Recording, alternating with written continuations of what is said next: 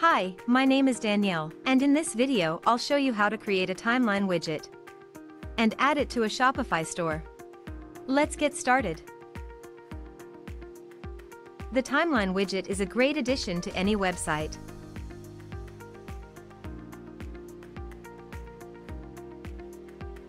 To start, enter Common Ninja website. Choose your widget from our large collection of widgets. And once you've entered the widget page, Click on the Create button to enter the timeline editor.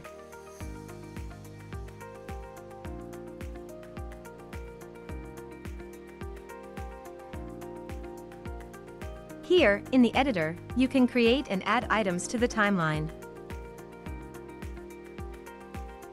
You can select a layout.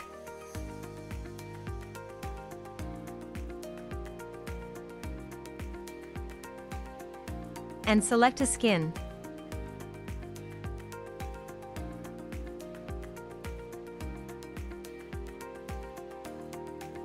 You can customize the timeline's look and feel.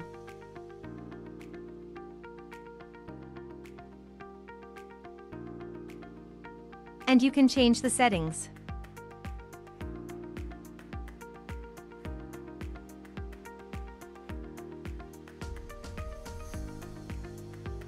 When you're done, click the Save Changes button to save your work. If you don't have an account on Common Ninja yet, you'll have to register first.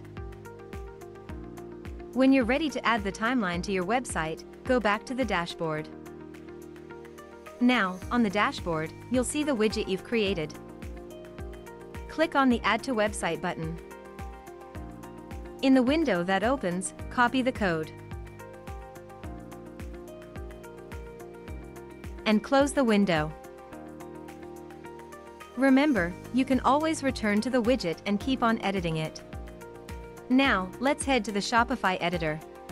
On the Shopify editor enter the theme customization under the online store option. Now, you'll need to add a new section or a new block to your page. You can use the inline editor, or you can add a new section at any part of the page on the side panel. Select the custom liquid option.